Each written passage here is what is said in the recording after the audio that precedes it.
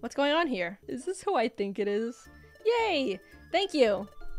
Please, it's nothing. What's going on? Do you guys know what's about to happen? Because I sure do.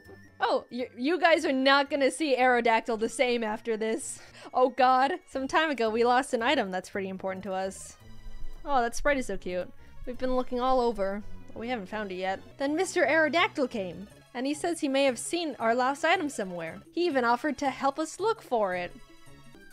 Aerodactyl, offering to help children find their lost item in mysterious places. We're so happy about this. Floatzel, oh, please. Don't. Don't do it. Don't do it, guys. Yay! That, that's great for you. No, it's not. Thank you, Mr. Aerodactyl. Oh, please. I'd have a cold heart to ignore kids in need. I can't turn a blind eye. Aerodactyl.